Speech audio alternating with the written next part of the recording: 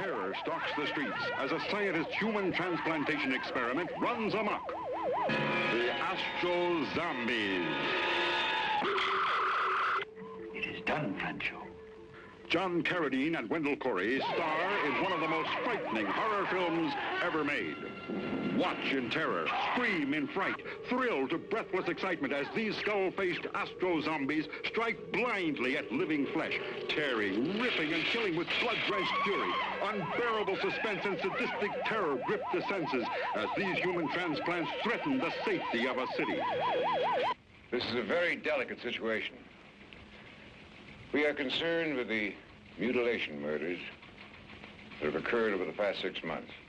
The beautiful, voluptuous, deadly, vicious Satana, a woman who would stop at nothing to gain control over the Astro Zombies, whose creed was kill, kill, kill.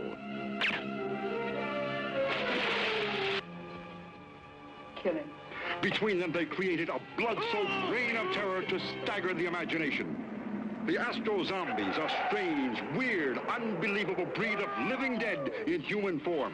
Their deranged transplanted brains could only lead them to murder, action to thrill you, suspense to make your blood curdle.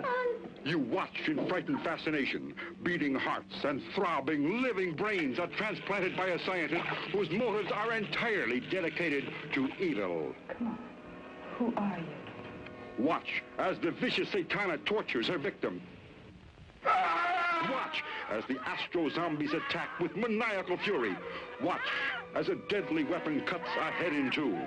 Watch as the blood flows and splatters the screen. Watch the Astro Zombies. You will die a thousand deaths as you watch the Astro Zombies, starring Wendell Corey and John Carradine.